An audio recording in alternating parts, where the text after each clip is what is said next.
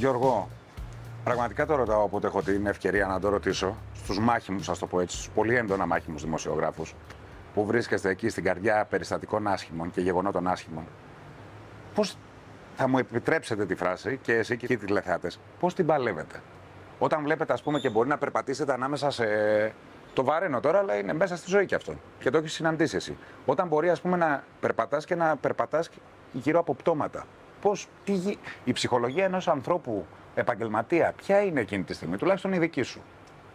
Ναι, υπάρχουν δύο ψυχολογίες. Ναι. Υπάρχει η ψυχολογία του Γιώργου, που νομίζω ότι καταλαβαίνουμε όλοι πώς μπορεί να αισθάνομαι, και υπάρχει η ψυχολογία του Γρηγοριάδη, ο οποίος είναι επαγγελματίας, είναι απεσταλμένος στο αντένα και για να καλύψει ένα γεγονός. Εσείς, σε εσάς δεν συμβαίνουν δυσάρεστα γεγονότα στη ζωή σας και πρέπει να ανέβετε στο σανίδι. Βέβαια. θα ανταποκριθείτε. Εγώ στην Τουρκία περπατούσαμε και όχι μόνο εγώ, όλοι οι συνάδελφοι που είμαστε εκεί και καλύπταμε για τα ελληνικά μέσα και σκοντάφταμε σε, σε μαύρους σάκους. Ή για τις ανάγκες του ρεπορτάζ κυκλοφορούσαμε ανάμεσα σε συντρίμια πολυκατοικιών που είχαν καταρρεύσει σαν χάρτινοι πύργοι γιατί δεν είχε δρόμους, γιατί μπορεί τώρα να σκεφτείς εσύ οι τηλεθεατές μας, μα καλά και εσύ έπρεπε να ανεβαίνεις δηλαδή πάνω στα συντρίμια, δεν είχε δρόμους. Έπρεπε να πας κάπου που ήταν μια επιχείρηση απεγκλωβισμού σε εξέλιξη και έπρεπε να φτάσεις εκεί. Και ανέβαινες πάνω σε πολυκατοικίες, οι οποίες είχαν καταρρεύσει. Και σκεφτόσουν ότι μπορεί από κάτω να υπάρχει κάποιος εγκλωβισμένος, ζωντανός και να ακούει τα βήματά σου, να προσπαθεί να σε φωνάξει και εσύ να μην αντιδράς. Υπήρχαν τα σκαπτικά μηχανήματα, ε, υ- υπήρχε πάρα πολύ θόρυβο. Τρελαίνεσαι εκεί. Έχεις διεφιάλτε από εικόνες τις οποίες έχεις συναντήσει.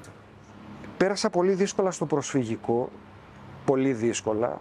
Ε, Δηλαδή υπήρχαν στιγμές που έμπαινα στο μπάνιο και εγώ γενικώς τα κάνω όλα πολύ γρήγορα στη ζωή μου. Υπήρχαν στιγμές στο προσφυγικό που έμπαινα στο μπάνιο και έκανα και μισή ώρα για να βγω, γιατί δεν ήθελα να με δούνε τα παιδιά έτσι όπως ήμουνα. Αυτό που εμείς θεωρούμε πολύ δεδομένο, το ζεστό το νερό στο σπίτι σου να κάνεις ένα μπάνιο μετά από ξέρω εγώ, ένα 8ωρο, 10ωρο, 12ωρο, 16ωρο, για αυτούς τους ανθρώπους δεν υπήρχε. Και δεν υπήρχε όχι στο ένα 24ωρο, δεν υπήρχε για εβδομάδες. Και έχω περάσει πολύ δύσκολα και στο δυστύχημα των τεμπών με τους 21 μαθητές. Ήρθες σε επαφή με τις οικογένειες τότε; Ναι, ναι, ναι. Ναι, ναι.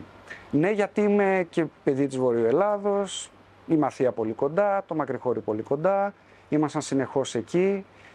Ε, Εκείνο και ακόμη με πονάει.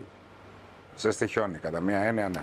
Ναι, υπάρχουν κάποιες εικόνες αυτά τα χρόνια που δεν, δεν πρόκειται να τις ξεχάσω ποτέ. Ε, Να μην τις ξαναζήσουμε και ως ρεπόρτερ και ως επαγγελματίας και να μην τις ζει και κανένας, έτσι.